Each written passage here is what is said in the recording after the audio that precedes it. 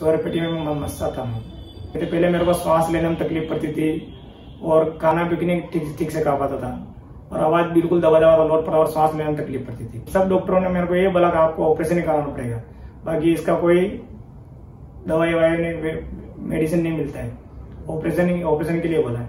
मैं यहाँ ब्रह्म होम्योपैथिक में मतलब यहाँ दवा लेने से मैं भी ठीक हूँ मतलब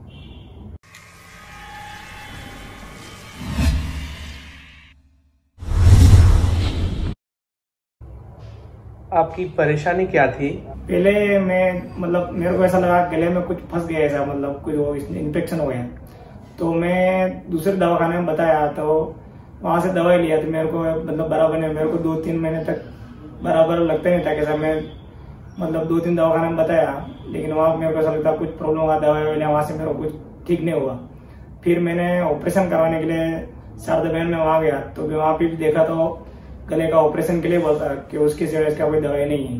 फिर मेरे को किसी ने मेरे मैं जहाँ फैक्ट्री में काम करता था वहाँ से मेरे को एक मेरे office office work, worker staff ने मेरे को बताया कि वहाँ ब्रह्म होम्योपैथिक है वहाँ पे आप दवाई कराएँगे तो आपको ठीक हो जाएगा। फिर मैं यहाँ पे आने के बाद मेरे को पिचहत्तर परसेंट जैसा ठीक हुआ है। नहीं तो पहले मेरे को सांस लेने में तकलीफ़ पड़ती थी और खाना पीने ठीक ठीक से खा पाता था। और आवाज़ बिल्कुल दबा दबा लोट पड़ा और सांस लेने में तकलीफ़ पड़ती थी। स्वर पेटी में मैं मस्सा था। मैं स्वर पेटी में? मस्सा बोलते उसको। मस्सा था। हम्म। और सभी डॉक्टरों ने आपको ये बोला था कि बिना ऑपरेशन के आप ठीक हाँ, नहीं होंगे हम सब डॉक्टरों ने मेरे को ये बोला कि आपको ऑपरेशन ही कराना पड़ेगा। बाकी इसका कोई दवाई वाई नहीं मेडिसिन नहीं मिलता है। ऑपरेशन ही ऑपरेशन के लिए बोला है। तो आप ठीक कैसे हुए? मैं यहाँ ब्रह्म होम्योपैथिक में मतलब यहाँ दवा लेने से मैं भी ठीक हूँ मतलब। आवाज़ में मेरे को पिछहत्तर परसेंट जैसा अच्छा लगा है। मेरे को ऐसा लगता लगता है कि मतलब ठीक हो जाएगा।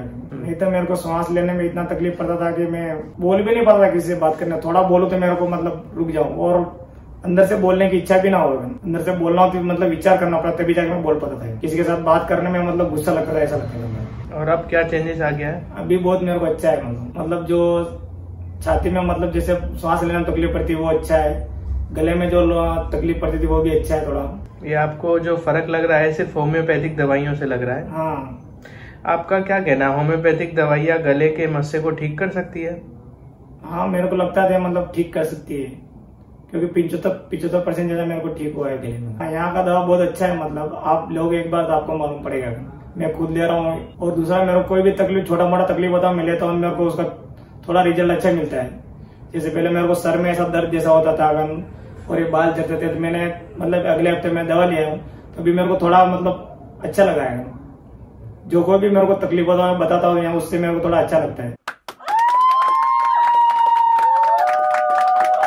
Nine four two nine zero six five four five seven पर व्हाट्सएप वीडियो कॉल करके आप घर बैठे इलाज होम्योपैथी से ले सकते हैं।